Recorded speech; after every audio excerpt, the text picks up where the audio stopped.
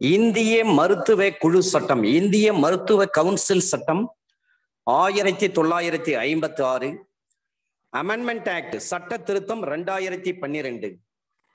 இந்த ஆக்டை இன்றைக்கு நாம் பார்க்கிறோம் the Indian Medical Council Act nineteen fifty six amendment act two thousand twelve இந்த ஆக்ட்ல இருந்து இதுவரை ஏபிபி எக்ஸாம்க்கு கேள்விகள் ஏதாவது கேட்கப்பட்டிருக்கிறதா? ஃபர்ஸ்ட் கொஸ்டின் ஏபிபி எக்ஸாம்க்கு இந்த ஆக்ட்ல இருந்து ஏதாவது கேள்விகள் கேட்கப்பட்டிருக்கிறதா என்று சொன்னால் ஏபிபி எக்ஸாமை பொறுத்தவரை இந்த Indian Medical Council Act nineteen fifty six amendment act two thousand டுவெல்லை பொறுத்தவரை இதுவரை கேள்விகள் கேட்கப்படவில்லை. ஃபர்ஸ்ட் பாயிண்ட் நீங்க தெரிந்து கொள்ள வேண்டும். ஆனால் வர இருக்கக்கூடிய இந்த ஏபிபி எக்ஸாம்ல கண்டிப்பாக இதில் கேள்வி எதிர்பார்க்கப்படுகிறது.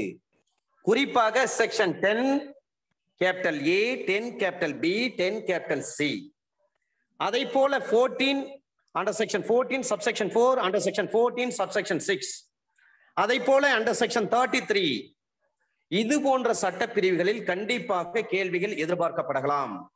நிறைய ஜட்ஜ்மெண்ட்ஸ் இருக்கு. இந்த சட்டத்தை பார்ப்பதற்கு முன்பாக சில ஜட்ஜ்மெண்ட்ஸை நாம் பார்த்துவிட்டு உள்ளே சென்றால் நன்றாக இருக்கும். இதுல மிக முக்கியமானது இந்த சட்டம் எப்பொழுது வருகிறது எப்பொழுது நடைமுறைப்படுத்துகிறது செக்ஷன் ஒன்னு என்ன? இது எல்லாம் அஸ்யூஷுவலா நார்மலா நாம் சொல்லக்கூடிய ஒரு விஷயங்கள். ஆனாலும் கூட சில தீர்ப்புகளை பார்த்துவிட்டு உள்ளே சென்றால் நன்றாக இருக்கும். இந்த Indian medical council act nineteen fifty six amendment act two thousand டுவெல்லை பொறுத்தவரை state of Karnataka and others versus medical council of India இந்த வழக்கு தான் வெரி ஸ்டாண்டர்ட் அத்தாரிட்டி இந்த ஆக்டை பொறுத்தவரை state of Karnataka and others versus medical council of India இந்த தீர்ப்பு nineteen ninety எயிட்ல வந்து ஒரு ஜட்ஜ்மெண்ட் சுப்ரீம் கோர்ட் கொடுத்த ஒரு அற்புதமான ஒரு ஜட்ஜ்மெண்ட் இது. ஜூலை மாசம் பதினாறாம் தேதி சிக்ஸ்டீன்த் ஜூலை நைன்டீன் நைன்டி எயிட்ல கொடுக்கப்பட்ட ஒரு அற்புதமான தீர்ப்பு. இந்த state of Karnataka and others versus medical council of India இந்த தீர்ப்புல தான் under section ten capital A under section ten capital B இதனுடன் இணைத்து under section ten capital C of this act வந்து டிஸ்கஸ் பண்றாங்க. அதோடு மட்டுமின்றி under section nineteen capital A under section thirty three இந்த ஐந்து சட்ட பிரிவுகளையும் state of Karnataka and others versus medical council of India இந்த தீர்ப்புல தான் இந்த வழக்குல தான் உச்ச நீதிமன்றம் இதை பற்றி தெளிவாக அனலைஸ் பண்றாங்க. அனலைஸ் பண்ணிட்டு ஒரு தீர்ப்பு கொடுக்குறாங்க. இப்ப நம்ம section ten A ten B ten C under section nineteen capital A under section thirty three இந்த ஐந்து சட்ட பிரிவுகளையும் தெளிவாக தெரிந்து கொள்ள வேண்டும் என்று சொன்னால் state of Karnataka and others versus medical council of India மிக முக்கியமான ஒரு தீர்ப்பு. தமிழ்நாட்டில் இருக்கக்கூடிய பெரம்பலூர் மாவட்டத்தில் அமைந்திருக்கக்கூடிய Dhanalakshmi Srinivasan medical college versus Indian medical council medical council of India Dhanalakshmi Srinivasan medical colleges versus medical council of India இந்த வழக்கு செக்ஷன் போர்டீன் சப்செக்ஷன் போருக்கும் செக்ஷன் போர்டீன் சப்செக்ஷன் சிக்ஸையும் பற்றி மிக தெளிவாக சொன்ன வழக்கு.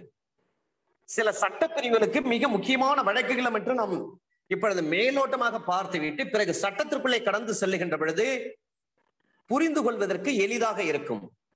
Dhanalakshmi Srinivasan medical colleges versus medical council of India. இந்த வழக்கில் அண்டர் செக்ஷன் ஃபோர்டீன் சப்செக்ஷன் ஃபோரையும் அண்டர் செக்ஷன் ஃபோர்டீன் சப்செக்ஷன் சிக்ஸையும் டிஸ்கஸ் பண்றாங்க. அதற்கு அங்கீகாரம் கொடுக்க முடியுமா முடியாதா என்பதை பற்றி. அடுத்த வழக்கு Tamil Nadu Siddha medical association versus Indian medical association. Tamil Nadu Siddha medical versus Indian medical association. Two thousand லெவன்ல வந்த வழக்கு இது. Tamil Nadu Siddha medical versus Indian medical association two thousand eleven இந்த வழக்கில் டென்டிஸ்ட் ஆக்ட்னு தனி act ஒன்று இருக்குது பல் மருத்துவ சட்டம். அந்த டென்டிஸ்ட் ஆக்டுக்கும் இந்தியன் மெடிக்கல் கவுன்சில் ஆக்டும் வெவ்வேறு வ- வெவ்வேறு வகையானவை என்றாலும் கூட இரண்டிற்கும் ஒரே மாதிரியான பண்புகள் குணநலன்கள் சட்ட வலிமை இருக்கிறது. இப்ப Tamil Nadu Siddha medical versus Indian medical association two thousand லெவன்ல வந்த இந்த ஜட்ஜ்மெண்ட்ல என்ன சொல்றாங்கன்னா Indian medicine central council act nineteen seventy regularise the practice of Siddha ஒரு காலகட்டத்தில் நீங்க சித்தா சித்த மருத்துவம் பாக்குறீங்கன்னு சொன்னாவே அதை அங்கீகரிக்க மாட்டாங்க. ஒரு கேள்வி எழும்பியது. சித்த மருத்துவர்கள் இந்த யுனானி இது போன்ற மருத்துவர்கள் எல்லாம் அக்குபஞ்சர் இவர்கள் எல்லாம் ஆபரேஷன் செய்ய முடியுமா முடியாதா? இப்படிப்பட்ட ஒரு சூழல் இருந்த காலகட்டம். ஆனால் after getting the practice they can do like this முறையாக பயிற்சி எடுத்த பிறகு அரசனுடைய அங்கீகாரம் பெறப்பட்ட பிறகு மெடிக்கல் கவுன்சில் ஆஃப் இந்தியாவின் அடிப்படையில் செய்ய முடியுமா? செய்யலாம். Under section 15 subsection two having valid licence Tamil Nadu Siddha medical versus Indian medical association two thousand லெவன்ல வந்த தீர்ப்புல under section 15 subsection two discuss பண்றாங்க. அண்டர் செக்ஷன் 15 டிஸ்கஸ் பண்றாங்க. 15ல சொல்றாங்க இந்தியன் மெடிக்கல் கவுன்சில் ஆக்ட் தடை செய்கிறது. எதையெல்லாம் தடை செய்கிறது? ஹோமியோபதியை தடை செய்கிறது. அண்ட் சித்தா டாக்டர்ஸ் தடை செய்கிறது. எது சம்பந்தமாக? யூசிங் அலோபதி மெடிசன்ஸ் இதான் செக்ஷன் 15 ஆஃப் திஸ் ஆக்ட் இந்த இந்தியன் மெடிக்கல் கவுன்சில் ஆக்டை படிக்கின்ற பொழுது செக்ஷன் 15 படி ஒரு ஹோமியோபதி டாக்டரோ அல்லது ஒரு சித்தா டாக்டரோ அவர்கள் யூசிங் அலோபதி மெடிசன்ஸ் வந்து யூஸ் பண்ண கூடாதுன்னு சொல்றாங்க அண்டர் செக்ஷன் 15 சப்செக்ஷன் டூல சொல்றாங்க ஹேவிங் வேலிட் லைசன்ஸ் அப்ப Tamil Nadu Siddha medical versus Indian medical association கேஸ்ல சொல்றாங்க அவங்களுக்கு லைசன்ஸ் கொடுங்கன்னு சொல்றாங்க. இதுல மூணு ஆக்ட் நம்ம பார்க்க போறோம். ஒரு act Indian medical council act nineteen fifty six amendment act two thousand twelve இரண்டாவது ஆக்ட் டென்டிஸ்ட் ஆக்ட் மூன்றாவதாக ஒரு ஆக்ட் இருக்கு Indian medicine central council act nineteen seventy Indian medicine central council act nineteen seventy is regularise the practice of Siddha அப்ப Siddha doctor எல்லாம் வந்து அவர்களை ஒழுங்குபடுத்துவர. சித்த மரு- நீங்க சித்தம் படிக்கிறீங்க சித்த மருத்துவம் படிக்கிறீங்கன்னு சொன்னா அவர்களுக்கு எந்த ஆக்ட் பொருந்தும் என்று சொன்னால் Indian medicine central council act nineteen seventy அந்த Indian medicine central council act nineteen seventy is regularise the practice of Siddha சித்த மருத்துவமனையில நீங்க சித்த மருத்துவரா நீங்க அரசாங்கத்தால் அங்கீகரிக்கப்பட்ட ஒரு மருத்துவக் கல்லூரியில படிச்சுட்டு வரீங்கன்னு சொன்னா இன்னைக்கு தமிழக அரசின் மூலமாக உங்களுக்கு அரசாங்க மருத்துவமனையில் சித்த டாக்டர் இருக்கிறாங்க. இன்னைக்கு சித்தா மருத்துவ சித்த மருத்துவர்கள் யுனானி மருத்துவர்கள் அக்குபஞ்சர் மருத்துவர்கள் இது போன்ற மருத்துவர்கள் எல்லாம் அங்கீகரிக்க வேண்டும் என்பதற்காகத்தான் central council act nineteen seventy is regularise the practice of Siddha. சித்த மருத்துவரெல்லாம் சித்த மருத்துவம் படிச்சுட்டு வந்துட்டு எனக்கு சித்த வைத்தியம் தெரியும் அப்படின்னு சொல்றீங்கன்னு சொன்னா அல்ல யுனானி அப்ப இவர்களை ஒழுங்குபடுத்துவதற்காகத்தான் இந்த Indian medicine centralise sorry Indian medicine central council act nineteen seventy வந்திருக்கிறது. அப்ப டென்டிஸ்ட் ஆக்டுக்கு என்ன வேல்யூ இருக்கிறதோ அதே வேல்யூ தான் the Indian medical council act nineteen fifty six amendment act two thousand டுவெல்லுக்கும் இருக்கிறது ஜட்மெண்ட் இந்த ஆக்ட் யார் கொண்டு வராங்க? சென்ட்ரல் கவர்மெண்ட் சென்ட்ரல் கவர்மெண்ட் கொண்டு வராங்கன்னா என்ட்ரி நம்பர் சிக்ஸ்டி சிக்ஸ்ல இருக்கணும். List number one or entry number twenty five list number third of the seventh schedule of the constitution of India nineteen பிப்டில இருக்க வேண்டும். இன்றைக்கு தமிழக அரசு சில விஷயங்களுக்கு இன்றைக்கு போராடி கொண்டிருக்கிறார்கள். குறிப்பாக குறிப்பாக இன்றைக்கு இருக்கக்கூடிய இந்த அரசாங்கம் இன்றைக்கு தமிழ்நாட்டில் இருக்கக்கூடியது மாண்புமிகு மு க ஸ்டாலின் தலைமையில் இருக்கக்கூடியது திமுக அரசு கிடையாது. திமுக அரசாங்கம் அரசின் ஒரு அங்கம் அவ்வளவுதான். இந்த அரசாங்கம் மாண்புமிகு இந்திய பிரதமர் அவர்களை சந்தித்து கோரிக்கை வச்சிருக்காங்க.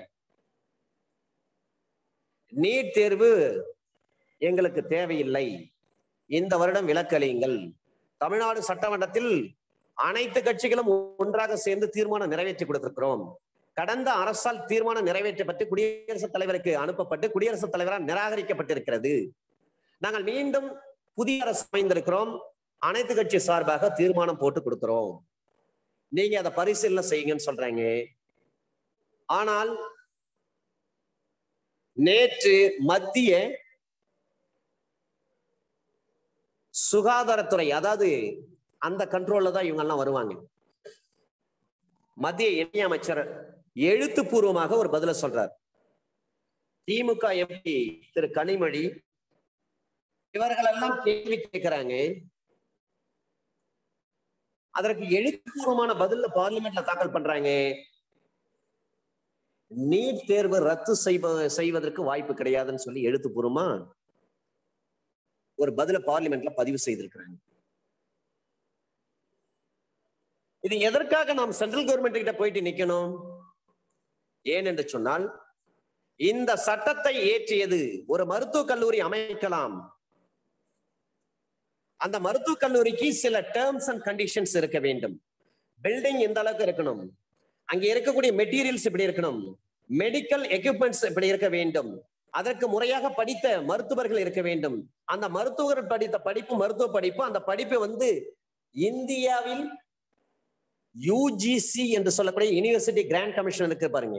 அந்த பல்கலைக்கழக மானிய குழு ஒரு பக்கம் இருந்தாலும் கூட ஒரு யூனிவர்சிட்டியின் மூலமாக மருத்துவ பல்கலைக்கழகத்தின் மூலமாக அங்கீகரிக்கப்பட்ட ஒரு மருத்துவக் கல்லூரியோ அல்லது மருத்துவ பல்கலைக்கழகத்திலே படித்து இருக்கக்கூடிய ஒரு பட்டதாரி தான் வர வேண்டும். மருத்துவ பட்டதாரி. தமிழ்நாடை பொறுத்தவரை ஆயிரத்தி தொள்ளாயிரத்தி பதினான்காம் ஆண்டு தமிழ்நாடு மெடிக்கல் ரெஜிஸ்ட்ரேஷன் ஆக்ட் படி அந்த எம்பிபிஎஸ் படித்த அந்த மருத்துவர் பதிவு செய்திருக்க வேண்டும். அப்ப Indian medical council act two nineteen fifty six அதை வந்து அங்கீகரித்திருக்க வேண்டும். சுதந்திரத்துக்கு பிறகு நைன்டீன் பிப்டி சிக்ஸ். அவ்வாறு படித்த ஒரு பட்டதாரி தான் மருத்துவராக பணியாற்ற முடியும். இதற்கு அங்கீகாரம் கொடுப்பது எல்லாமே சென்ட்ரல் கவர்மெண்ட். அப்ப இந்த சட்டத்தை ஏற்றுவது யாரு? மத்திய அரசாங்கம் பார்லிமெண்ட். அப்ப என்ட்ரி நம்பர் என்ன? என்ட்ரி நம்பர் அறுபத்தி ஆறு எதுல வரும்? லிஸ்ட் ஒண்ணுல வரும். அப்படி இல்ல என்ட்ரி நம்பர் டுவெண்ட்டி ஃபைவ் எதுல கொண்டு வராங்க? லிஸ்ட் தேர்டுல கொண்டு வராங்க. இந்த ரெண்டு லிஸ்டும் எதுல இருக்கு? செவன்த் ஷெடியூல்ல கொண்டு வந்து வச்சிருக்காங்க. ஏழாவது பட்டியல்ல ஏழாவது பட்டியல் எங்க இருக்கிறது? இந்திய அரசியலமைப்பு சட்டம் ஆயிரத்தி ஐம்பதில் இருக்கிறது. மேதை அம்பேத்கர் அவர்களால் இயற்றப்பட்ட அந்த சட்டம். அப்ப இந்த medical council act central act இந்த ஆக்டை வந்து பார்லிமெண்ட் எனாக்ட் பண்றாங்க. பவர் வந்து சென்ட்ரல் கவர்மெண்ட்டுக்கு இருக்கு. என்ட்ரி நம்பர் அறுபத்தாறு list one or entry number twenty five list third of the seventh schedule of constitution of India nineteen fifty அதுல கொண்டு வந்து இணைக்கிறாங்க. அப்போ ஒரு மருத்துவ கல்லூரியோ மருத்துவ பல்கலைக்கழகமோ தூங்க வேண்டும். ஒரு மாநில அரசாங்கம் தூங்குகிறது அல்லது ஒரு தனிப்பட்ட நபர் துவங்குகிறார் என்று சொன்னால் நீங்கள் மத்தியில என்ன பண்ணும் பர்மிஷன் வாங்கணும். அப்ப Indian medical council act nineteen fifty six அதுக்கு அப்ளை ஆகுதான்னு பார்க்கணும். டென்டிஸ்ட் ஆக்ட் வந்து அதுக்கு அப்ளை ஆகுதான்னு பார்க்கணும். அல்லது Indian medicine central council act nineteen seventy அதுக்கு அப்ளை ஆகுதான்னு பார்க்கணும். இதுக்கு பர்மிசிபிலிட்டி கொடுக்குறாங்க.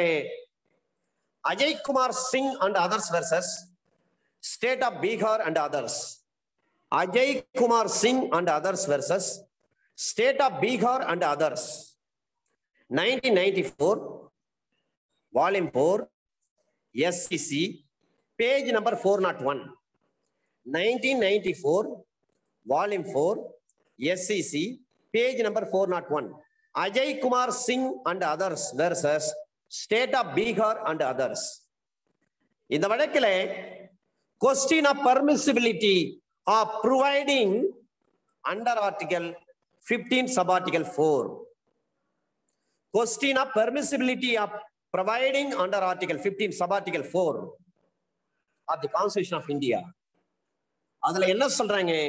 ஒரு மெடிக்கல் காலேஜ் வச்சு நடத்துறீங்கன்னு சொன்னா அந்த மெடிக்கல் காலேஜ்ல சோசியலி அண்ட் எக்கனாமிக் எக்கனாமிக்கலி யார் யார் பேக்வேர்டா இருக்கிறாங்களோ அவர்களுக்கு ரிசர்வேஷன் கொடுங்கன்னு சொல்றாங்க. அப்ப மெடிக்கல் காலேஜ்ல வந்து ரிசர்வேஷன் வந்து இம்ப்ளிமெண்ட் பண்ண முடியுமானா இம்ப்ளிமெண்ட் பண்ண முடியும். ஆனால் இதற்கு முன்பாக இந்திய அரசியலமைப்பு சட்டத்துல முதல் திருத்தம் வருவதற்கு காரணமாக இருந்த ஒரு பிரபலமான வழக்கு. அந்த வழக்குல சொல்றாரு நான் அதிக மார்க் எடுத்திருக்கேன். எனக்கு மெடிக்கல் காலேஜ் இன்ஜினியரிங் காலேஜ் போன்ற இடங்கள்ல வந்து எம்எம்சில மெட்ராஸ் மெடிக்கல் காலேஜில் சீட் கிடைக்கல. குறைந்த என்னை விட குறைந்த மதிப்பெண் எடுத்தவர்களாம் சீட்டு கிடைக்குது. அங்க ரிசர்வேஷன் ஒன்று கொண்டு வராங்க. சாதிய ரீதியாக பாகுபாடு காட்டாதீர்கள். அப்படின்னு சொல்லி கேட்கிறார் அந்த வழக்கை எப்போதைக்கு விசாரித்த உச்ச நீதிமன்றம் அவருடைய கோரிக்கை ஏற்றது. அப்ப under article fifteen subarticle four of the constitution of இந்தியாவில் என்ன சொல்றாங்கன்னா? சோசியலி எக்கனாமிக்கலி பேக்வர்ட் கம்யூனிட்டிஸ் இருக்காங்கன்னு சொன்னா அவர்களுக்கு போஸ்ட் கிராஜுவேட் நீங்க கொடுக்குறீங்க. ஜிப்மர் இருக்கிறது. புதுச்சேரியில் பாண்டிச்சேரியில JIPMER hospital Jawaharlal Nehru post graduate in medicine research medical centre இப்போ போஸ்ட் கிராஜுவேட்டோ அல்லது எம்பிபிஎஸ் இதுல வந்து ரிசர்வேஷன் கொடுக்க முடியுமானா கண்டிப்பா ரிசர்வேஷன் கொடுக்க முடியும். Ajay Kumar Singh and others versus state of Bihar and others nineteen ninety four volume four SCC page number four nought one question of permissibility of providing under article fifteen sub article four post graduate medical colleges socially economically இந்த under article fifteen sub article four list one and third of the seventh schedule list one and list third of the seventh schedule அதுலதான் கொண்டு வராங்க. Under article fifteen article four of the constitution of India nineteen அப்ப பொருளாதார ரீதி என்ற வார்த்தை கிடையாது. Sorry சமூக ரீதியாக ரீதியாக பின்தங்கி இருக்கக்கூடிய மாணவர்களுக்கு மருத்துவ கல்வியில் படிப்பதற்கு நீங்க ரிசர்வேஷன் வந்து இம்ப்ளிமெண்ட் பண்ணலாம்னு சொல்றாங்க. இந்த Ajaykumar Singh and others versus state of Bihar and others nineteen ninety four volume four SEC page number four nought ஒன்ல இந்த வழக்குல செக்ஷன் பதினாறு செக்ஷன் செக்ஷன் பதினெட்டு செக்ஷன் பத்தொன்பது இந்த நாலு சட்டப்பிரிவுகளையும் உச்ச நீதிமன்றம் ரொம்ப டீடைல்டா அனலைஸ் பண்றாங்க. The speak the course of study and recognised medical qualification அப்ப regulation list two is directory and it did not have any force அப்படின்னு சொல்றாங்க. அதோடு மட்டுமின்றி section one one nine IT act இருக்கு பாருங்க.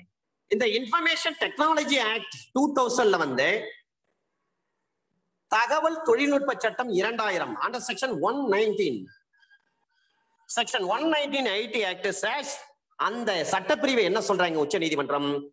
ஸ்டாச்சுட்டரி இன் நேச்சர் இதையெல்லாம் discuss பண்றாங்க அஜய்குமார் வழக்கில். அஜய்குமார் சிங். அஜய்குமார் சிங் வழக்கில் இதையெல்லாம் டிஸ்கஸ் பண்றாங்க. Under section one one nine of information technology act two thousand is statutory in நமக்கு எல்லாம் ஏற்கனவே தெரிந்தது. Under section sixty six A A of information technology act வந்து ஸ்ட்ரக் டவுன் பண்ணிட்டாங்க. எதற்காக ஸ்ட்ரக் டவுன் பண்றாங்க? Information technology ஆக்ட்ல under article nineteen sub article one clause A of constitution of India right to freedom freedom to speak and express freedom to speech and expression அதை violate பண்ற மாதிரி இருக்கு information technology act under section sixty six capital A எனவே அதை struck down பண்றாங்க. அன்கான்ஸ்டிடியூஷன் சொல்லிட்டு declare பண்ணிட்டாங்க supreme court எந்த வழக்குல? ஸ்ரேயா சிங்கால் டூ தௌசண்ட் பிப்டீன்ல வந்த வழக்கு உச்ச நீதிமன்றம். அதே information technology act under section one one nine is statutory in nature இதே Ajaykumar Singh and others versus state of Bihar வழக்கில் தான் இதை டிஸ்கஸ் பண்றாங்க சுப்ரீம் கோர்ட் அதோடு மட்டுமின்றி under section fifty three subsection டென்னுல சொல்றாங்க maximum number of students to be admitted to course for studies equally medical college act பொறுத்தவரை would apply to dental council under dentist act. Section 53 subsection 10 அதுல சொல்றாங்க maximum number of students to be admitted to course for studies equally medical council act would apply to dental council act. அப்ப அந்த dentist ஆக்டுக்கு தான் full power அந்த act வந்த பிறகுதான் அது நைன்டீன் ஃபார்ட்டில வந்த ஆக்ட் டென்டிஸ்ட் ஆக்ட் அந்த ஆக்ட்ல சொல்லப்பட்ட விஷயங்கள் வந்த பிறகுதான் நைன்டீன் பிப்டி சிக்ஸ்ல Indian medical council act nineteen fifty சிக்ஸ்ல வருது. அப்ப டென்டிஸ்ட் ஆக்டுக்கு இந்தியன் மெடிக்கல் கவுன்சில் ஆக்டும் ஒரே விதமான சட்ட அதிகாரங்களை கொண்டுள்ளது. அப்ப டென்டிஸ்ட் ஆக்ட் வந்து அலோ பண்ணுதுன்னா Indian medical council act dentist act nineteen forty வந்து அலோ பண்ணுதுதான். அதை ஏற்றுக்கொள்கிறது. இதற்கு இடையில Indian medical central council act nineteen seventies Indian medical central council act nineteen seventy இந்த ஆக்ட் படி சித்தாவுக்கு வழிவகுக்கிறாங்க சித்தா படிச்சீங்கன்னா சித்த மருத்துவம் படிக்கிறவங்க எல்லாம் வந்து அரசாங்க உத்தியோகம் வர முடியும். அவங்க சித்த மருத்துவமனை நடத்த முடியும்னு சொல்றாங்க. ஏன்னா ரெகுலரைஸ் பண்ணுது இந்த ஆக்ட் பத்தொன்பது ஐந்து ரெண்டாயிரத்தி நான்காம் வருடம் ஒரு மிகப்பெரிய நோட்டிபிகேஷன் கொடுக்குறாங்க. Nineteenth May two thousand four இந்த நைன்டீன்த் மே டூ தௌசண்ட் ஃபோர்ல பத்தொன்பது ஐந்து ரெண்டாயிரத்தி நான்குல ஒரு பெர்மிஷன் கொடுக்குறாங்க. பெர்மிட்டிங் தி யார் யார பர்மிஷன் பண்றாங்க பாருங்க. ஆயுர்வேதிக் யுனானி டிப் சித்தா இவரெல்லாம் they are all eligible to practise ரெண்டாயிரத்தி நாலுல தான் இவர்களுக்கு அனுமதியை கொடுக்குறாங்க. Indian medicine central council act nineteen seventeen படி சித்தாவை ரெகுலரைஸ் பண்றாங்க. பத்தொன்பது அஞ்சு ரெண்டாயிரத்தி நாலுல ஒரு நோட்டிபிகேஷன் கொடுக்குறாங்க.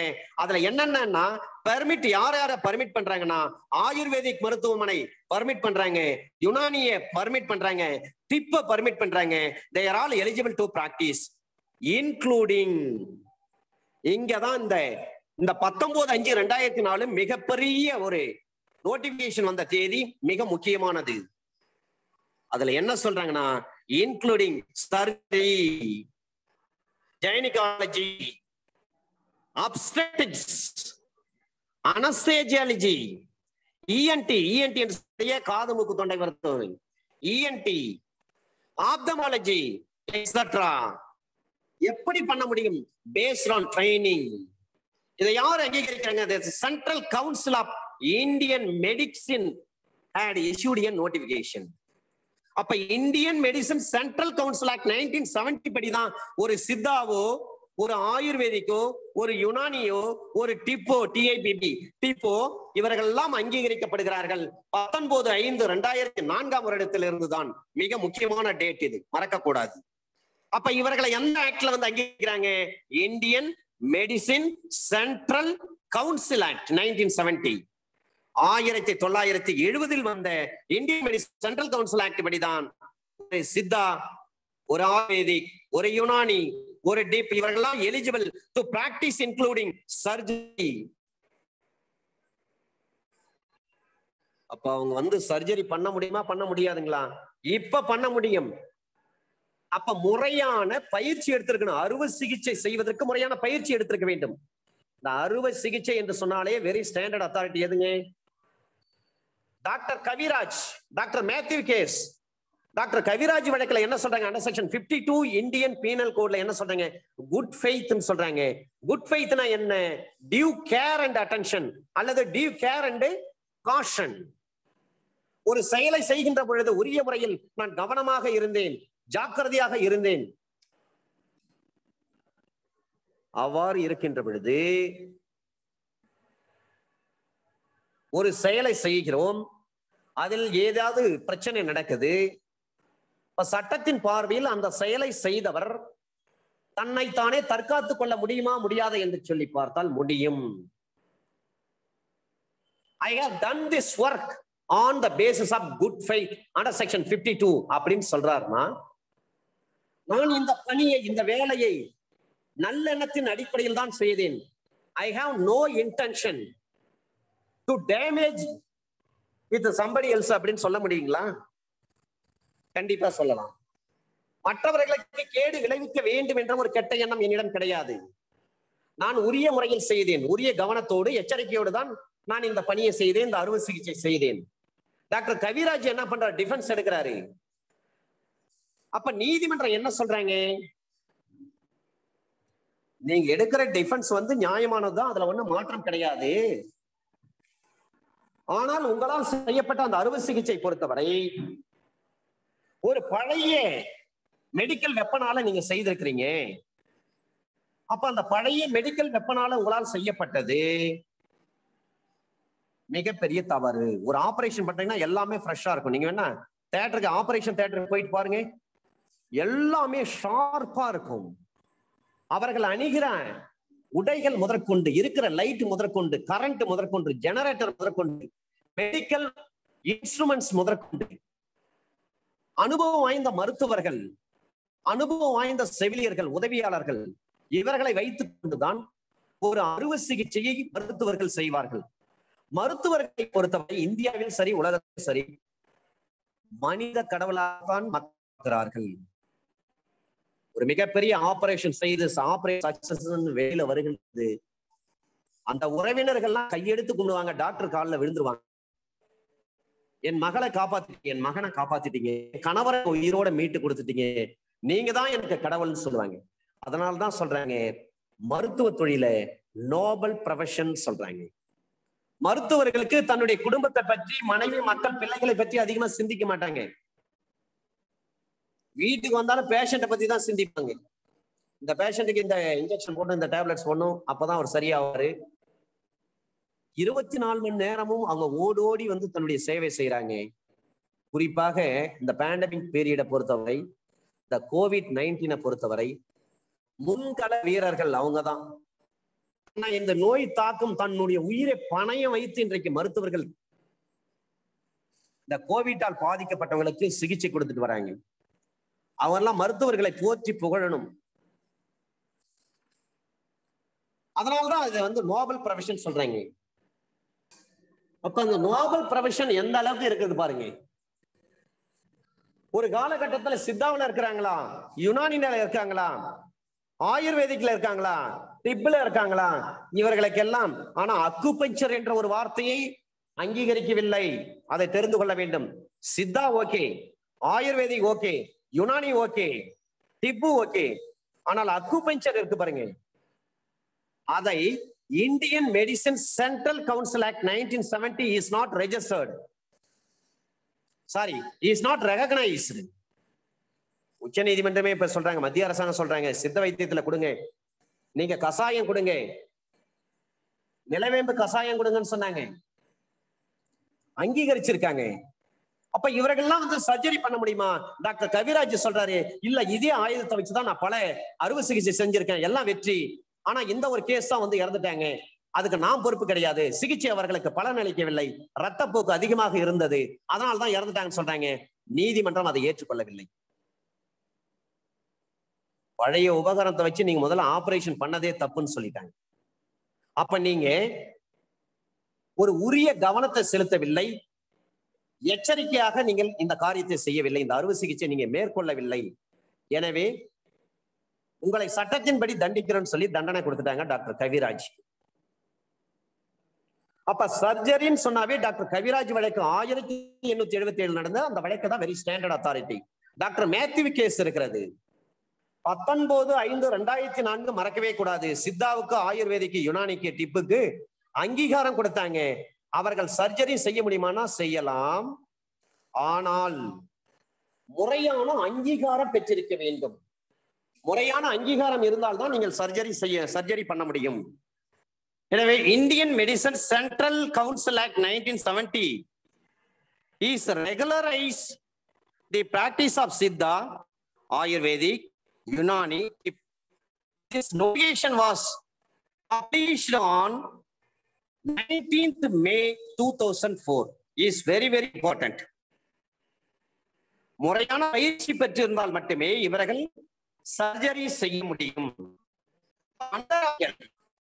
Three one E three one E எதை பற்றி பேசுகிறது?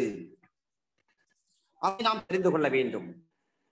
Three seventy one medical council act படிக்கிறப்ப இது மிக முக்கியம். Under article three seventy one E of the constitution of India nineteen fifty அப்ப என்ட்ரி லிஸ்ட் வந்து லெவன்ல list second has been deleted அதை சொல்லிட்டு சொல்றாங்க. Under article two fifty four sub article one of the constitution of India இருநூற்று ஐம்பத்தி நான்கு. Two fifty four எதை பற்றி பேசுகிறது? Inconsistency between laws made by parliament and laws made by state by the legislature of states. பாராளுமன்றம் ஒரு சட்டம் இயற்றுகிறது. ஒரு மாநிலத்தில் இருக்கக்கூடிய ஒரு சட்டமன்றம் ஒரு சட்டம் இயற்றுகிறது. அது கன்சிஸ்டன்சியா இருக்க வேண்டும். ஆனால் இன்கன்சிஸ்டன்சியா இருக்கிறது. ஒத்து போகாமல் இருக்கிறது. மத்திய அரசு சென்ட்ரல் கவர்மெண்ட் பார்லிமெண்ட் மூலமாக ஒரு மெடிசன் சம்பந்தமாக ஒரு சட்டம் இயற்றுகிறது.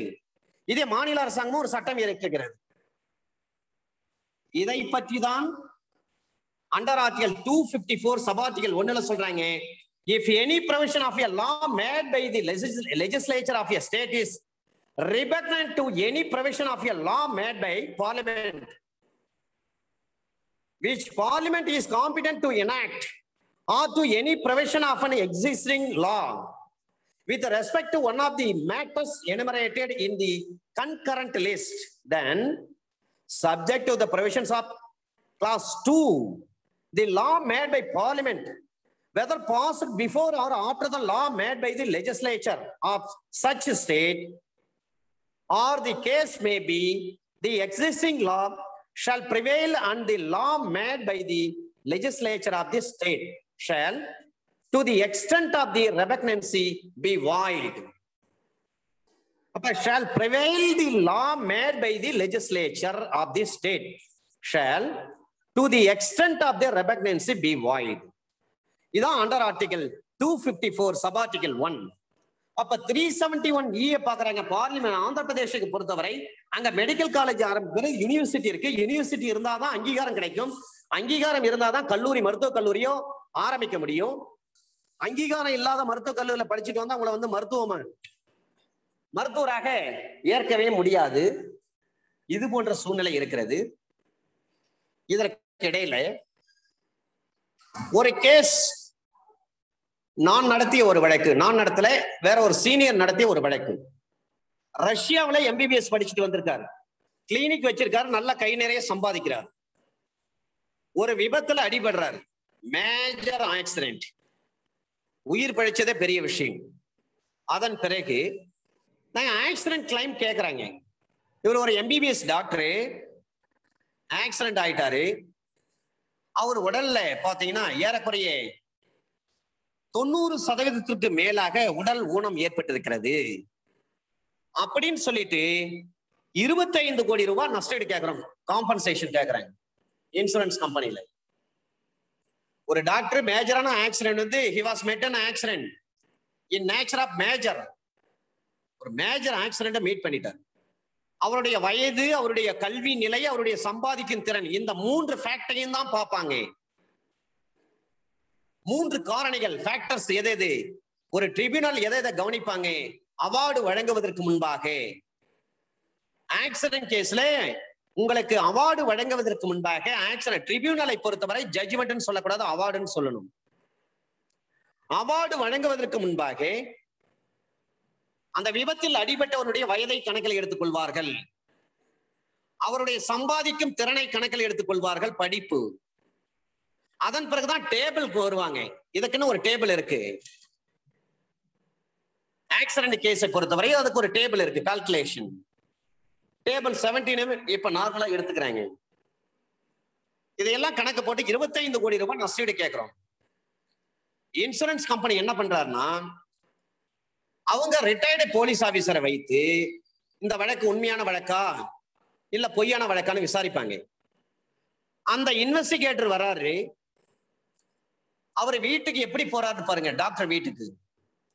ஆக்சிடென்ட் ஆகி நாலஞ்சு வருஷம் கழித்த பிறகு கேஸ் ட்ரையலுக்கு வருது அதுக்கு முன்பாகவே இன்சூரன்ஸுடைய அந்த இன்வெஸ்டிகேட்டர் நேராக வீட்டுக்கு போறாரு. இந்த மாதிரி ஆக்சிடென்ட் ஆயிட்டு படுத்த படுக்கையா இருக்கிறவங்களுக்கு எங்க நிறுவனத்துல வந்து இது போன்ற உபகரணங்கள் தயாரிக்கிறோம். மெட்டீரியல்லாம் நாங்க வந்து மேனுஃபேக்சர் பண்றோம். இதெல்லாம் உங்களுக்கு யூஸா இருக்கும். படுத்த படுக்கையா இருக்கிறவங்களுக்கு. நீங்க பெரிய ஆக்சிடென்ட் ஆயிட்டீங்கன்னு கேள்விப்பட்டோம். அதுக்காக உங்ககிட்ட வந்து நாங்க எங்க கம்பெனி தயாரிக்கக்கூடிய அந்த பொருளை வாங்கினீங்கன்னா நீங்க நல்லபடியா நடக்கலாம். எந்த ஒரு சப்போர்ட்டும் இல்லாம யாருடைய உதவியும் இன்றி நீங்க நடக்கலாம். விளையாடலாம் அப்படின்னு சொல்றாங்க. டாக்டர் வீட்டு அடிப்பட்டு அந்த டாக்டர் வீட்டுக்கு போயிட்டு. இந்த நாலஞ்சு வருஷத்துல டாக்டர் வந்து நல்லா ரெக்கவர் ஆயிட்டார். உண்மையிலே வந்து அவரால் ஏஞ்சி உட்கார முடியுமா நடக்க முடியுமான்ற ஒரு சூழ்நிலை இருந்- இருந்த பொழுது அந்த டாக்டர் நல்லபடியா நல்லா எழுந்துச்சு உட்காந்துட்டா நடக்கிறார். அந்த அளவுக்கு உடல் தேறிவிட்டது. அவர் மருத்துவர் என்பது ஒரு ஒரு கூடுதல் பலம். நல்ல ம- நல்ல மெடிசன் நல்ல எக்ஸசைஸ் இதெல்லாம் பண்ண பிறகு அவர் உடம்புல அத்தனை எலும்புகளும் ஏறக்குறைய நிறைய மேஜர் பார்ட்ஸே வந்து அடிபட்டு போச்சு. இருந்தாலும் இந்த நாலஞ்சு வருஷத்துல அவர் சரியாயிட்டார். இந்த இன்சூரன்ஸ்ல இருந்து போன இன்வெஸ்டிகேட்டர் என்ன பண்றாங்க? இருபத்தஞ்சு கோடி ரூபாய் நம்ம காம்பன்சேஷன் கேட்டதுனால அடிப்பட்ட ஒரு வீட்டுக்கே போயிட்டு நாங்க வந்து இந்த மாதிரி ஒரு தனியார் கம்பெனில இருந்து வரோம். அந்த தனியார் கம்பெனில இருந்து வருகின்ற பொழுது எங்க கம்பெனி நிறுவனம் வந்து இது போன்ற பொருளை வந்து மேனுஃபேக்சர் பண்றோம் சார் நீங்க வாங்கிக்க நீங்க படுத்த படுக்கையா இருக்கிறீங்கன்னு கேள்விப்பட்டோம். அப்படின்னு சொல்லிட்டு போயிட்டு அந்த அடிப்பட்டவர்கிட்ட விசாரிக்கிறாங்க. பெட்டிஷனர்கிட்ட அந்த பெட்டிஷனர் டாக்டர் இந்த நாலஞ்சு வருஷத்துல குணமாயிட்ட பிறகு ஓரளவுக்கு தேறி வந்த பிறகு அவர்கள் ஏத்தாப்புல நான் அடிப்பட்டது ஆக்சிடென்ட் நடந்தெல்லாம் உண்மைதாங்க சார் ஆனா இப்ப என்னால ஐ கேன் வாக் அப்படின்னு சொல்லிட்டு அவர்கள் ஏத்தாப்புல நடந்து காட்டுறாரு. இது எல்லாவற்றையும் அந்த டாக்டருக்கு தெரியாம அந்த இன்வெஸ்டிகேட்டர் என்ன பண்றாரு? வீடியோ பண்றாரு. அந்த வீடியோ கொண்டு வந்து ட்ரிபியூனல்ல போடுறாங்க. இன்சூரன்ஸ் தரப்புல. இந்த மாதிரி பெட்டிஷன் சைட் சொல்றாங்க படுத்த படிக்க இருக்க பெட் ரிட்டன் ஸ்டேஜில் தான் இருக்காரு அவரால் ஒன்றும் பண்ண முடியாது ஏஞ்சி உட்கார முடியாது அந்த அளவுக்கு இருக்கு. குறைஞ்சது ஒரு நாளைக்கு ரெண்டு பேர் மூன்று பேருடைய உதவி இல்லாம அவரால் எதுவும் செய்ய முடியாது இயற்கை உபாதைகள்லாம் கழிக்க முடியாதுங்க. அப்படின்னு சொல்லி மனு போட்டிருக்காங்க கோர்ட்ல இதெல்லாம் போய். இத பாருங்க அந்த டாக்டர் வீட்டுக்கு போயிட்டு எங்க இன்சூரன்ஸ் கம்பெனி தரப்புல நாங்க இன்வெஸ்டிகேட் பண்ணிட்டு வந்திருக்கோம். அதுக்கான ஆடியோ வீடியோ ஆதாரம் இருக்குன்னு சொல்லிட்டு கோர்ட்ல காட்டுறாங்க. இங்க ஒரு சட்டப்படியான ஒரு கேள்வி. இன்சூரன்ஸ் கம்பெனி மூலமாக ஒரு இன்வெஸ்டிகேட்டர் வந்து அப்பாயிண்ட் பண்ணி அவர் விசாரணை செய்து ஒரு அறிக்கை கொடுக்கிறாருன்னா அந்த அறிக்கை சட்டப்படி செல்லுமானா செல்லாது. ஏன்னா அந்த இன்வெஸ்டிகேஷன் செய்த அந்த நபர் ஒரு எக்ஸ்பர்ட் கிடையாது.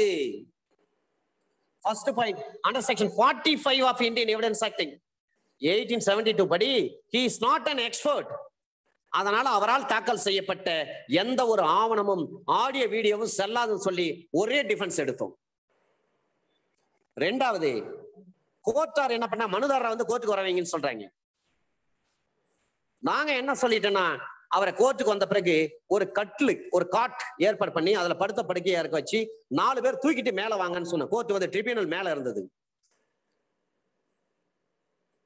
நாலு பேர் தூக்கிட்டு மேல வராங்க. கட்லோட நாங்க கோர்ட்ல காட்டுறோம். அப்பதான் அந்த வீடியோ எடுத்து கொடுக்குறாங்க. இத பாருங்க. அவர் நல்லா நடப்பாரு உட்காருவாரு ஓடுவாரு விளையாடுவாரு. மனுதாரர் வழக்கறிஞர் வந்து நீதிமன்றத்துல வந்து உண்மைக்கு புறம்பான விஷயங்களை எடுத்து சொல்றாங்க. இதை நம்பாதீங்க. அப்படின்னு சொல்றப்பதான் நாங்க இந்த விஷயத்த பேசுறோம். பேசின பிறகு நீதிமன்றம் ஒரு முடிவுக்கு வராங்க. அவார்ட் பாஸ் பண்றதுக்கு முன்னாடி. அவர் டாக்டரா இல்லையா? முதல் கேள்வி. டாக்டர். குவாலிபிகேஷன் சர்டிஃபிகேட்டுங்க அதையும் நாங்க மார்க் பண்ணிட்டோம். இப்ப இன்சூரன்ஸ் கம்பெனில இருந்து ஒரு கேள்வி கேட்டாங்க. ஏதோ எங்களை வந்து பிளாக் பண்ணி பார்த்தாங்க. முடியல. கடைசியா ஒரு கேள்வி கேட்கிறாங்க அவர் Indian medical council act nineteen fifty six படியும் Tamil Nadu medical registration act nineteen fourteen படியும் பதிவு செய்திருக்கிறாரா? இந்திய மருத்துவ கவுன்சில் அவரை ஒரு மருத்துவராக இந்தியாவில் பணிபுரிய அங்கீகாரம் அளித்திருக்கிறதா? அப்படின்ற ஒரு கேள்வியை கொண்டு வந்து முன் வச்சாங்க இன்சூரன்ஸ் கம்பெனில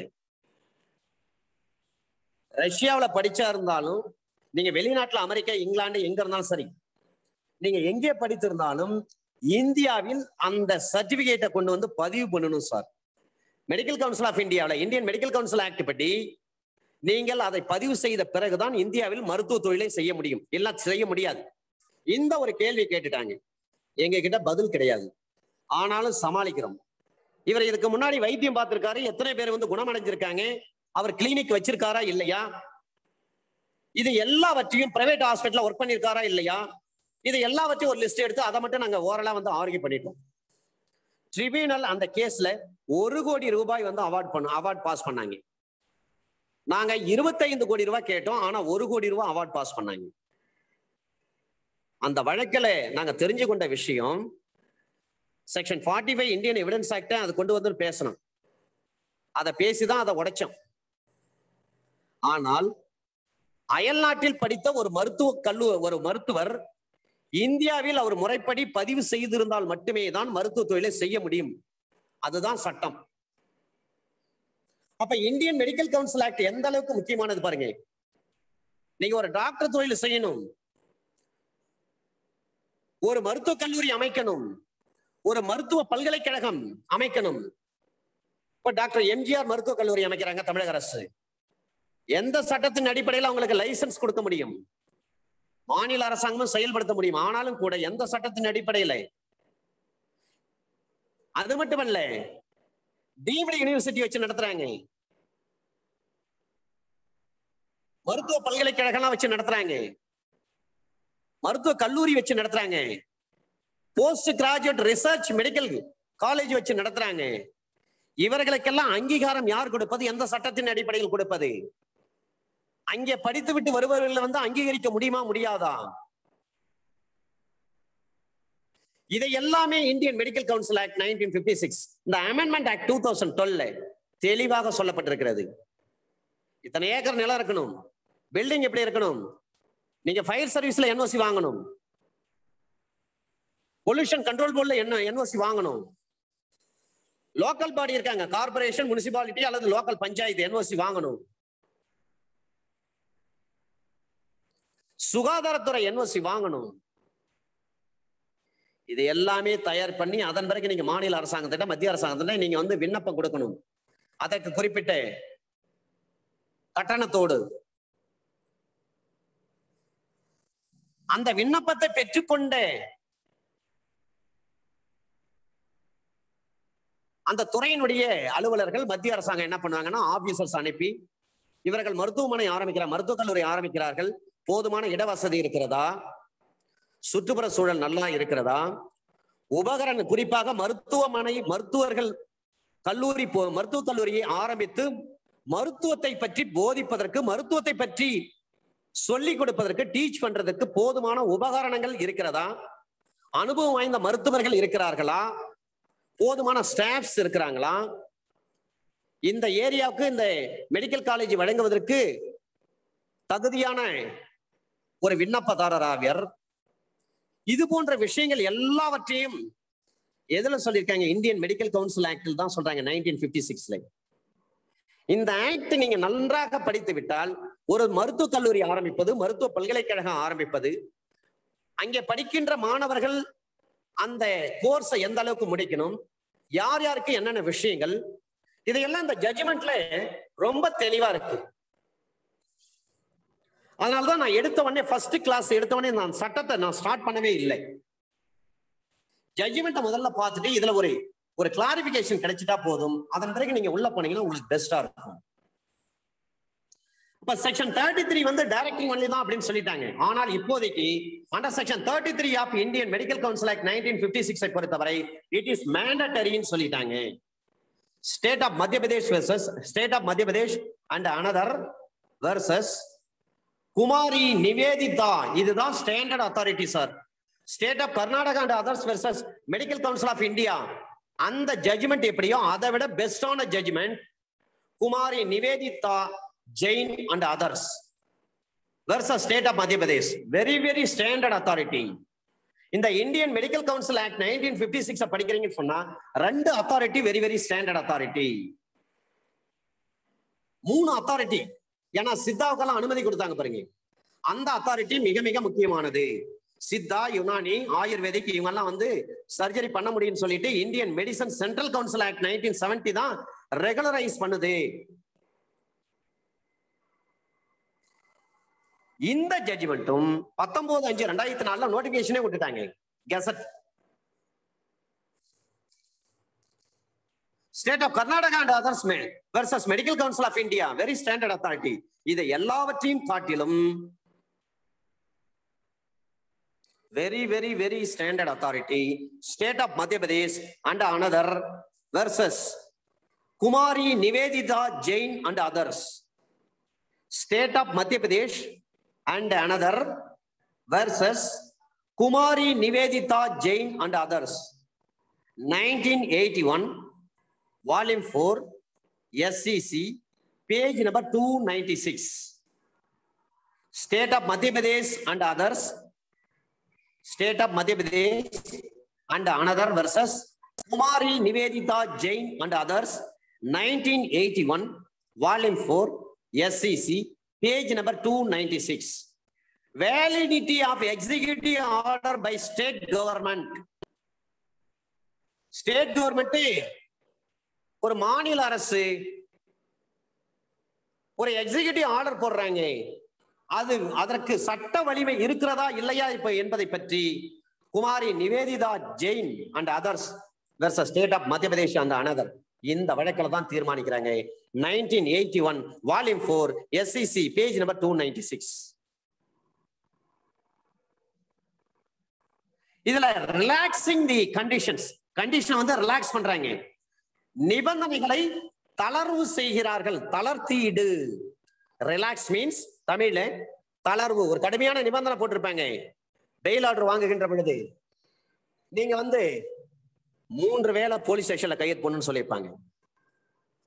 அக்யூஸ்ட் வந்து காலையில பத்து மணிக்கு மதியம் ஒரு மணிக்கு மாலை ஐந்து மணிக்கு காவல் நிலையத்தில் கையெழுத்து போட வேண்டும் என்ற நிபந்தனையின் அடிப்படையில ஒரு பெயில் ஆர்டர் ஆயிருக்கும் அட்வொகேட் என்ன பண்ணுவாரு? நீங்க ஒரு அஞ்சு பத்து நாள் போட்டுங்க. நான் அதன் பிறகு உங்களுக்கு கண்டிஷன் வந்து ரிலாக்ஸேஷன் வாங்கி தரேன். Four thirty nine capital relaxation வாங்கி தரேன். அப்படின்னு சொல்லுவார். ரிலாக்ஸேஷன் மீன்ஸ் ஏற்கனவே இருக்கக்கூடிய ஒரு சூழ்நிலையை தளர்த்தீடு பண்ணுங்க. குறைச்சி கொடுங்க. இப்ப மூணு வேளை கையெழுத்து போறது என்ன பண்ணலாம்? டெய்லி ஒருவேளை காலைல பத்து மணிக்கு மட்டும் கையெழுத்து போடுற மாதிரி ஐயா வந்து இந்த கண்டிஷனை ரிலாக்ஸ் பண்ணி கொடுங்கன்னு சொல்லி நம்ம டிஸ்ட்ரிக்ட் ஜட்ஜி கிட்ட அல்லது லார்ட்ஷிப் கிட்ட கேட்கறோமா இல்லைங்களா? ரிலாக்ஸேஷன் மீன்ஸ் தளர்த்தீடு செய்தல் தளர்வு செய்தல். அப்ப relaxation relaxing the conditions of relating to minimum qualify minimum qualification SC ST contraband regulation second. And would be hit by section 19 state of madhya pradesh state of madhya pradesh and another versus kumari nivedita jain and others 1981 volume four SCC page number two ninety சிக்ஸ்ல சொல்றாங்க. SC ST student இருக்காங்கன்னா அவர்களுக்கு relax பண்ணுங்க.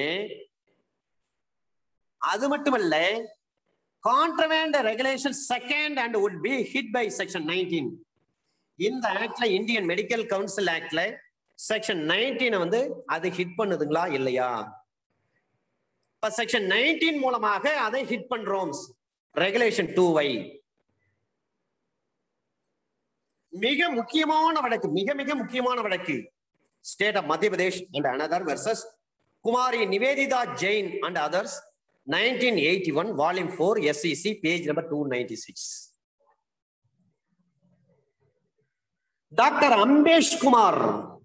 Doctor Ambesh AMBESH doctor Ambesh Kumar versus principal LLRM medical college Meerut and others மீரட்ல இருக்கக்கூடிய LLRM medical college அதனுடைய principal கொண்டு வராங்க. Doctor Ambesh Kumar versus principal principal LLRM medical college Meerut and others doctor Ambesh Kumar versus Principal LLRM Medical College, Meerut and others, 1986, within bracketல SUPP போட்டுங்க. Supplement. SCC, page number 543.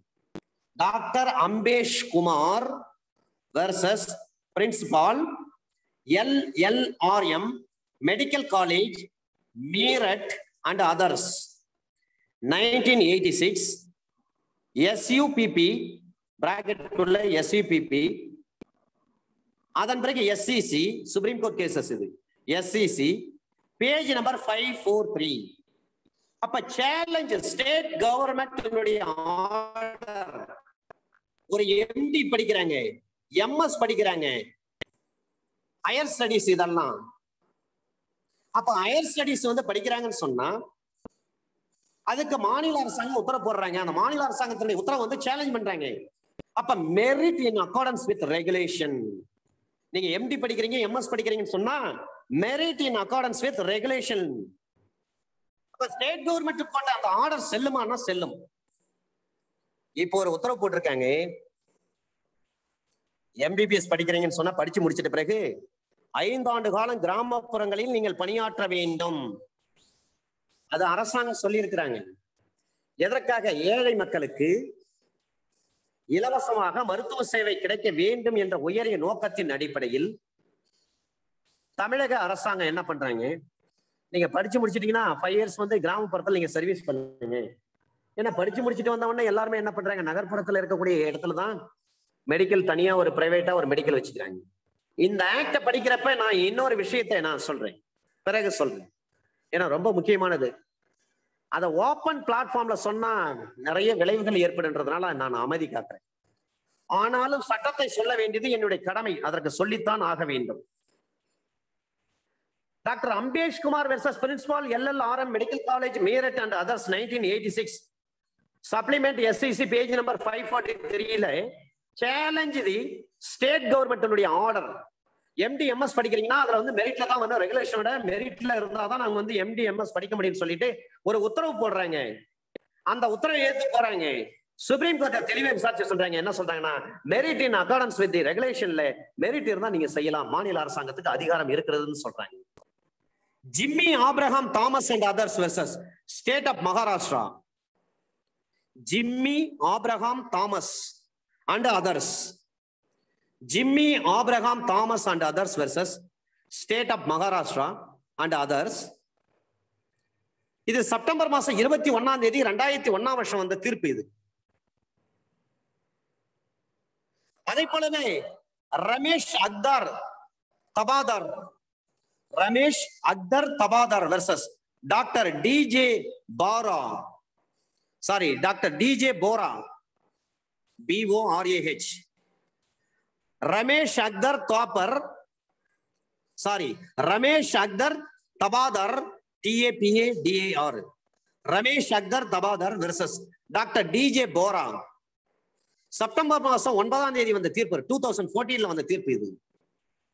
இப்ப dentist act இருக்கு nineteen forty eight ஆயிரத்தி தொள்ளாயிரத்தி நாற்பத்தி எட்டுல வந்த act இந்த டென்டிஸ்ட் ஆக்டை பொறுத்தவரை மிக முக்கியமானது. ஆயிரத்தி தொள்ளாயிரத்தி நாற்பத்தி எட்டுல டென்டிஸ்ட் ஆக்ட் வருது. ஆனால் ஆயிரத்தி தொள்ளாயிரத்தி ஐம்பத்தி ஆறுல தான் இந்தியன் மெடிக்கல் கவுன்சில் ஆக்டே வருது. அதன் பிறகுதான் ரெண்டாயிரத்தி பன்னிரெண்டுல அதுக்கு வந்து சட்டத்திருத்தம் கொண்டு வராங்க. அமெண்ட்மெண்ட் கொண்டு வராங்க. இதுல under section four one B of the state capitation fee ஆக்ட்னு ஒண்ணு இருக்கு. இந்த கேபிட்டேஷன் ஃபீஸ் வாங்குறாங்க மெடிக்கல் இது மெடிக்கல் காலேஜில் கேபிட்டேஷன் ஃபீஸ் எல்லாம் வாங்கக்கூடாதுன்னு சொல்றாங்க இல்லைங்களா? அதுக்கு தனி சட்டமே இருக்கிறது. ஸ்டேட் கேபிட்டேஷன் ஃபீஸ் ஆக்ட் அதுல நீங்க படிக்கிறீங்கன்னு சொன்னா under section ten capital A ten capital B ten capital C இது எல்லாமே வாய்டுன்னு சொல்லிட்டாங்க. Under section four one B of the state capitation fee act படி according to the state capitation fee act under section four one பியின் படி நீங்க Indian medical council act nineteen fifty six படிக்கிறீங்க. அதுல under section ten A ten B ten C இது எல்லாம் வாய்டுன்னு சொல்லிட்டாங்க. கேபிடேஷன் ஃபீஸ் ஆக்ட்ல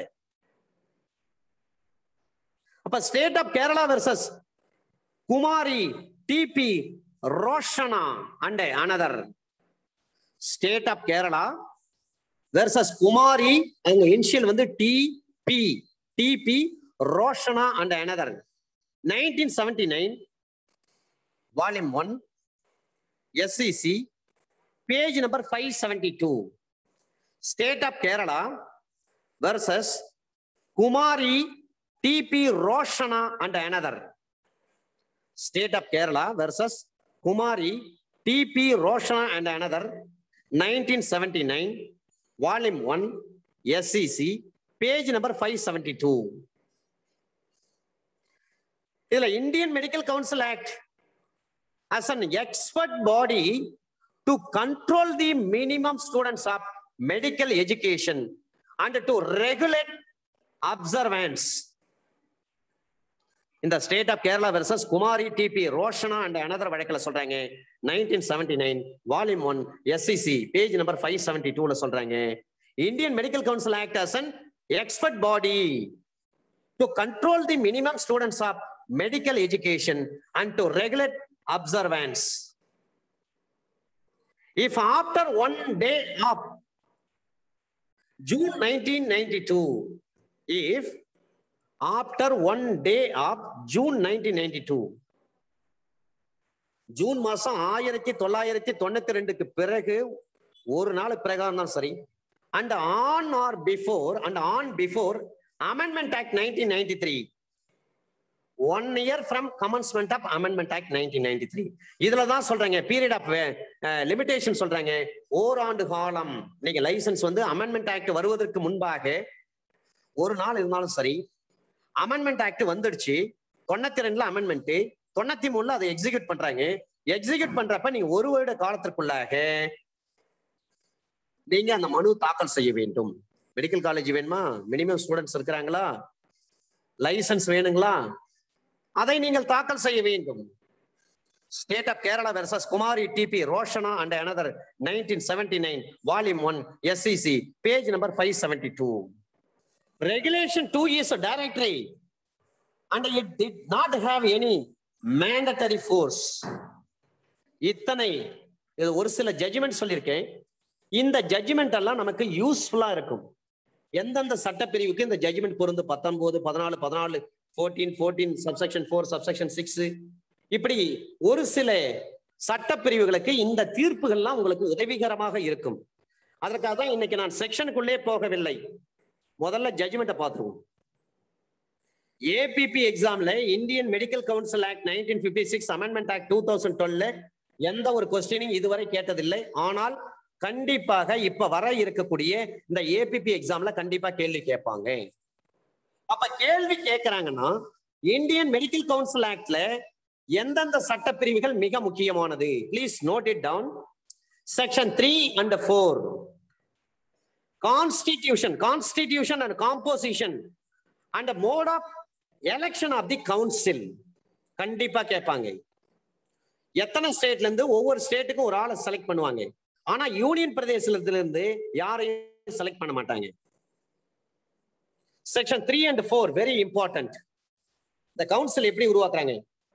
உருவாக்கின பிறகு மோட் ஆஃப் எலெக்ஷன் தேர்வு எப்படி தேர்வு முறை எவ்வாறு இருக்க வேண்டும்? Section four section ten A permission for establishment of new medical college ten A new course of study section ten A very very important medical college ஆரம்பிக்கிறீங்கன்னா section ten A கேட்காம இந்த ஆக்டே வராது. அதனால கண்டிப்பா இந்த முறை வந்து கேள்வி கேட்பாங்க. செக்ஷன் டென் ஏ கண்டிப்பா வரும். செக்ஷன் த்ரீ அண்ட் ஃபோர் கண்டிப்பா வரும். செக்ஷன் டென் பி அதையும் கேள்வி கேட்பார்கள். Section nineteen capital A section twenty ten A ten B ten C கண்டிப்பா படிச்சுக்கணும். Section nineteen capital A section twenty கண்டிப்பா அதுல இருந்து கேள்விகள் வரும். Section twenty capital A section twenty one section twenty three professional contact தொழில் நடத்தை. Section twenty capital A twenty one and twenty three twenty two கிடையாது. திறன் தொழில் நடத்தை twenty capital A twenty one இந்திய மருத்துவ பதிவேடு ரெஜிஸ்ட்ரி இருக்கணும். Registration in the Indian medical register அங்கதான் பதிவு பண்ணும் section twenty twenty three twenty one வந்து medical register section thirty three very very important supreme court வந்து section ten A ten B ten C discuss பண்ணிருக்காங்க. Section nineteen capital ஏவை discuss பண்ணியிருக்காங்க section twenty discuss பண்ணியிருக்காங்க section thirty three discuss பண்ணிருக்காங்க இதுதான் இந்த ஜட்ஜ்மெண்ட்ல நான் ஏற்கனவே சொல்லிட்டு வந்தது. Section twenty capital A twenty one and twenty three twenty த்ரீல பதிவு பண்றாங்க. டுவெண்ட்டி ஒன் என்பது பதிவேடுகளை பராமரித்தல். இவ்வளவுதான் சார் இந்த ஆக்ட்ல முக்கியமானது. வேற ஒண்ணுமே இல்லை சார். ஆக்ட் பெரிய ஆக்ட் ஆனா முக்கியமான விஷயமே இந்த செக்ஷன் தான். Section three and four section ten A ten B ten C section nineteen capital A section twenty section twenty A twenty one twenty third section ten ஏல வந்து சப்செக்ஷன் செவன் இவ்வளவுதான் sir முக்கியம். இந்த பத்து விஷயங்களை மட்டும் தெரிஞ்சீங்கன்னா போதும். இந்தியன் மெடிக்கல் கவுன்சில் ஆக்ட் நீங்க தரவாயிட்டீங்கன்னு அர்த்தம்.